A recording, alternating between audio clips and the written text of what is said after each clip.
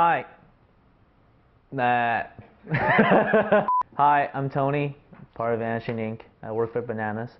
And uh, this is my color change. It's called Change because it uses my last name so nobody can steal it.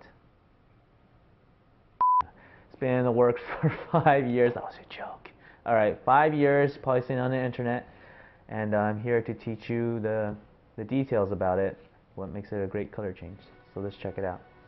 So we take a card, like the Ace of Spades, and all you have to do is if you just give it a little spin like this, it changes into another card.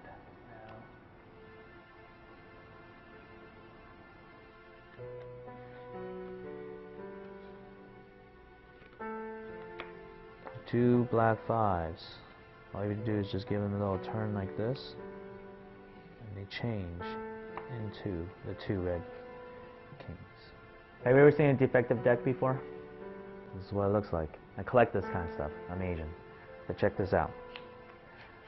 This deck is special because even though they look normal, they actually have no faces on them. I don't know if you can tell or not. For example, this one's the jo uh, Jack of Hearts. Yeah, that's the Jack of Hearts. Uh, the Two of Hearts, actually that's the Joker. I was confused with those cards. But after a while, using these cards, you can start to tell what they are just based on using them, getting familiar.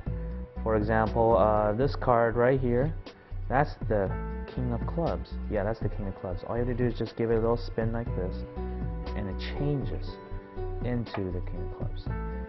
But if you can see that card, why not see every card in the deck?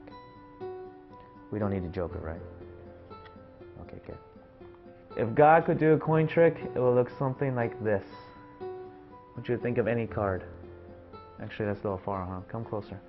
I really want you to think of any card. I don't want you to think I'm cheating. You can think of the Two of Hearts, uh, the King of Clubs. In fact, Josh, name any card. Five of Spades. Five of Spades. Any reason? No. All right.